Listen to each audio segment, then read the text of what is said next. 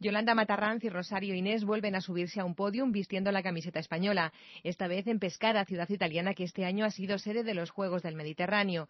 Allí, estas petanquistas federadas en el Club de Petanca Fuenlabrada se han hecho con la medalla de plata dentro de la categoría de dupletas, un galardón que se suma a los ya numerosos trofeos de estas deportistas y que suman en su palmarés varios premios mundiales en tripletas y una real orden del mérito deportivo del Consejo Superior de Deportes Español. Además, y a título individual, Yolanda Matarranz ostenta el reconocimiento de campeona de España en petanca. Ella misma ya adivinaba las dificultades de un torneo en el que las rivales de Francia no se lo iban a poner nada fácil. Al final, las petanquistas españolas superaron a las galas que tuvieron que conformarse con el bronce. Técnicamente yo creo que son las mejores.